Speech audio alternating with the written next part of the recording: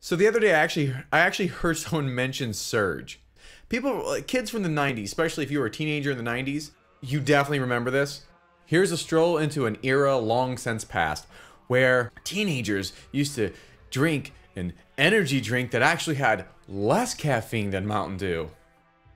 No one said we were smart. Wild, radical commercials that would convince us this was not your mom and pop soda. It's the 90s. Now, I remember Surge hitting like the scene, the scene, the soda scene. Back then in the soda scene, they hit hard. They went after that um, rebellious, uh, over the top. Surge. That's the bad boy of sodas out there. Get you all jazzed up.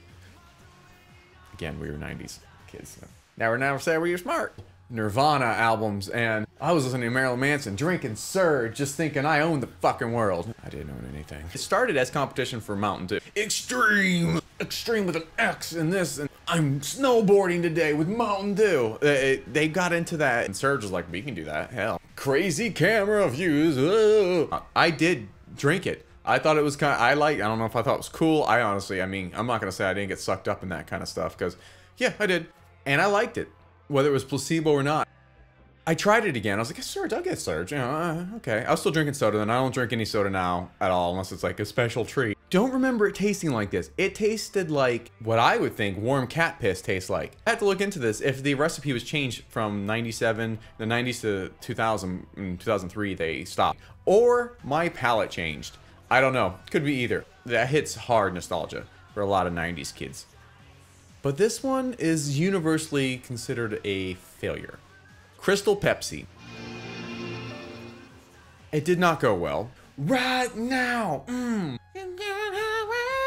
Sammy Hagar rocking out to drinking some clear Pepsi. No one else is rocking out to it because no one else liked it except me. I actually liked it until someone pointed out that it had the consistency, um, the, the, the viscosity, the texture, everything, and the look looked like a glass of saliva.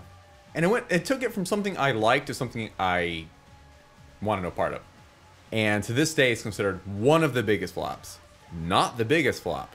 New Coke. Now New Coke started in 85, and this is how it becomes relevant in the 90s. In the 90s, they decided, oh, uh-uh, we didn't lose that battle. It's Coke 2. Do you remember that? I sure as hell don't. I can honestly tell you, I've never seen that can in my life. But it was a thing it failed twice. What's worse than having the entire world watch you fail? Having the entire world watch you fail twice. But I gotta admit, if it was sitting in front of me right now, maybe not a 25 year old can, but if a can of fresh Coke 2 was sitting in front of me right now, oh, I'd try it. I'd try the hell out of it. Next one is clearly Canadian. Think of a land where grand mountains, cold, fresh waters, lush green forests, and ripe fruits blend together in perfect harmony. Clearly Canadian reached the peak. There was a time that it was getting pretty popular. And I, I genuinely do have fond memories of it. I remember the, the cherry and the raspberry, the black raspberry, or whatever that was, and strawberry. Oh, so good. I want one. It was available in some places up into the 2000s. But people liked this so much, they actually started a, uh, a crowdfunding platform, like a Kickstarter. I think it's called like crowdfunding. And they actually are now taking pre-orders in 2014, as of April 2014 taking pre-orders on cases of Clearly Canadian. Are you kidding me? That's awesome. Hey, Clearly Canadian, you can use this, but you gotta you gotta pay me for it. Clearly Canadian. Taste the 90s. Yeah. I'm the new spokesman. Nah, I wish. Sweating my ass off. It's like 85 degrees in Florida. So I'm hot and I don't have the air on because it blows right into the microphone. So you're just gonna have to watch me glisten. I'm so ugly, I'm sparkling. They were always trying to get me to stay out all hours, chase women, party till dawn. But I didn't. And you know what? You wish you had. Every day of my life. Woulda. Shoulda. Josta. Better do the good stuff now. Josta. I gotta be honest, I never had this and I don't really remember it.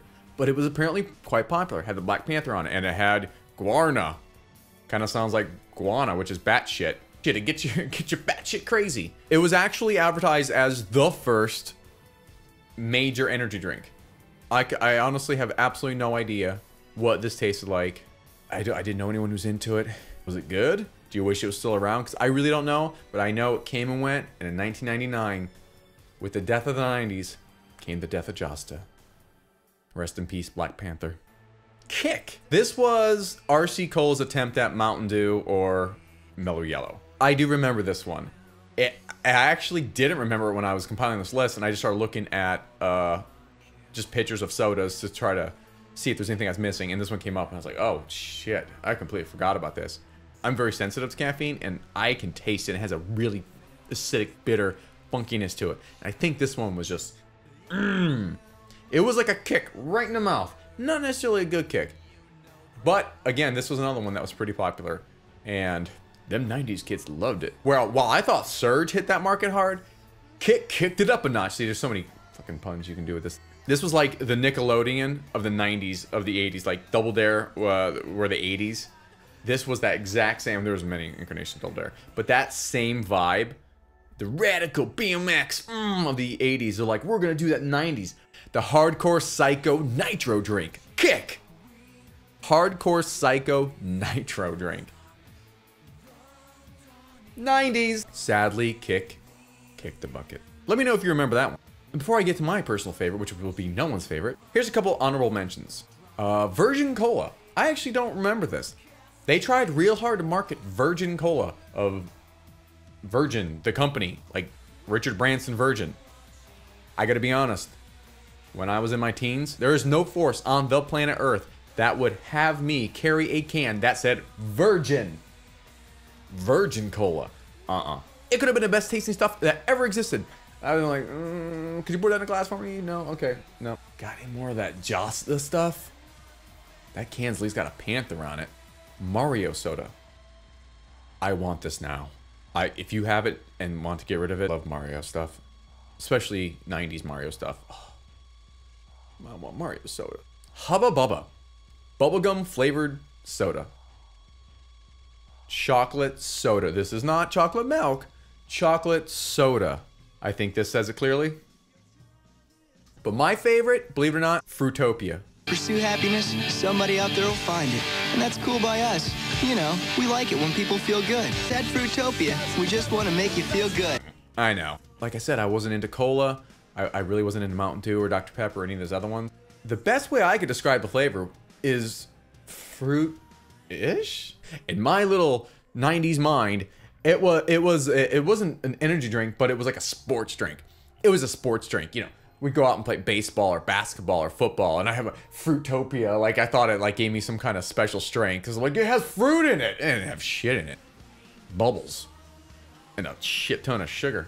It made sense at the time. That one, I, and I think they said that it's actually still available in like Australia. So if anyone from Australia is watching this, and there's actual new bottles of Fruitopia, I would, hey, if somebody wants to send me a bottle from the 90s, I will gladly put it up on my uh, collection up there. But I'm not going to drink it.